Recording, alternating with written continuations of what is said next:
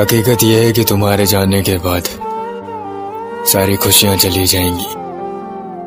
मैं जैसे पहले था, उस तरह मेरी दुनिया के लिए पड़ जाएगी। पर कोई बात नहीं। देखो, मैं खुश हूँ। आने वाला इंसान जाता ज़रूर है। और वैसे भी, मैं तुम्हारे लायक नहीं हूँ। बस तुम्हारी खुशी के लिए ये करना पड़ा। यही वजह है।